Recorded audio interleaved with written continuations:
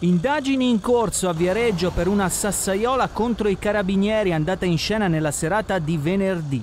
L'episodio si è verificato in via Lenci nel quartiere Varignano dove una pattuglia della locale compagnia era intervenuta dopo aver ricevuto la segnalazione da parte di alcuni residenti di un gruppo di giovani che stavano lanciando petardi disturbando la quiete pubblica. Una volta arrivati in zona i carabinieri hanno subito individuato i ragazzi che alla vista della pattuglia hanno provato a nascondersi tra i palazzi.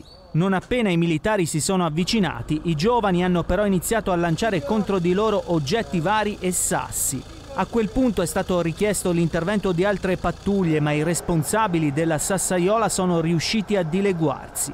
Non ci sono stati fortunatamente feriti, solo lievi danni all'autovettura di servizio. I militari comunque in queste ore avrebbero già raccolto elementi utili per identificare gli autori del gesto che secondo quanto emerso sarebbero tutti giovani del quartiere. Mi auguro che si individuino eh, questi soggetti e se sono minorenni vengano eh, come dire, accompagnati dalle loro famiglie che mi auguro provvedano a eh, fargli capire che così non si fa.